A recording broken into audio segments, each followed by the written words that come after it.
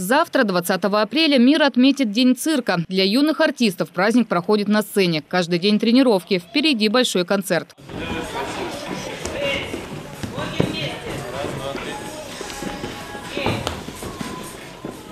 Грация, изящность и красота раскрываются на высоте. Воздушная гимнастика, дисциплина молодая, только начинает развиваться, признана официальным видом спорта лишь в прошлом году. Артисты парят без какой-либо страховки и говорят, страха нет. Завораживающие элементы упражнений показывают акробаты. Работаю на воздушных полотнах, у меня дети как бы занимаются акробатикой и как бы все остальное. Как бы новое направление хочу как бы развивать, и для меня это нравится что-то новое. Очень много всяких жанров в цирковом искусстве, и в принципе можно двигаться дальше. На сцене квилибристы, воздушные гимнасты, жонглеры, акробаты. Цирк – это микс спорта и искусства для тех, кто не боится пробовать что-то новое каждый день.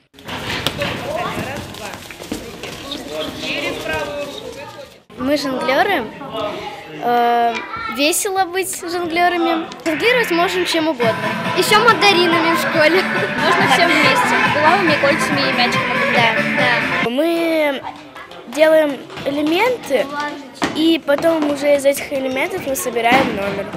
Цирк – это для меня как бы ассоциация такая, там, где э, водятся клоуны, там, где занимаются, где очень много лет тренируются. За внешней красотой всегда много тренировок и усилий. Важна хорошая физическая подготовка, развитие выносливости, гибкости, пластики и многое другое. Главное в эквилибристике – это хорошие ноги, хорошая спина, э, крепкие руки, чтобы стоять на них.